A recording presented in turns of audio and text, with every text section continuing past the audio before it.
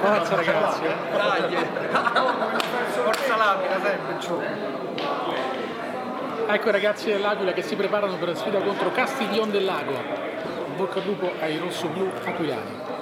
Eh, per Cesare Stagni, tutta la concentrazione al gioco. Di Stefano Pacitti e di Danilo Valloni con Gian Riccardo Colucci.